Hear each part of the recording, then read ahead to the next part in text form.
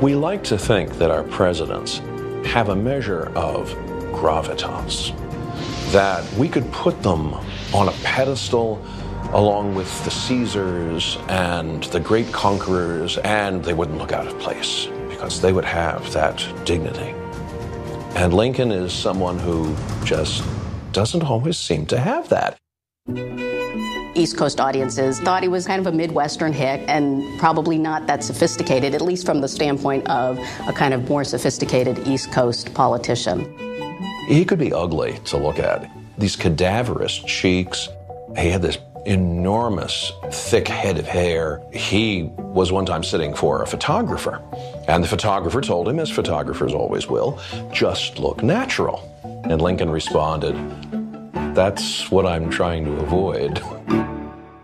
Lincoln tended to use humor to make political points.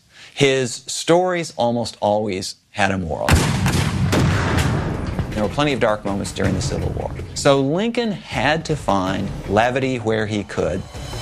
Sometimes, though, he could use humor to silence people who were out of line, people who had become wickedly critical of him. The one I think was the most devastating of all was the day that Bluff Ben Wade radical Republican senator from Ohio, stalked up from the Capitol, up Pennsylvania Avenue to the White House, into the White House, into Lincoln's office, thumping on the desk and saying, Lincoln, this situation in the country has gone to the point where we are beyond recall. Don't you know that hell is not a mile off?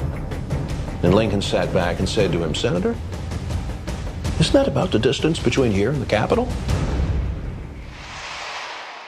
He didn't have a, you know a vast amount of political experience behind him when he came to office. But I, I think Lincoln understood where he could bend, but where he also had to stand his ground.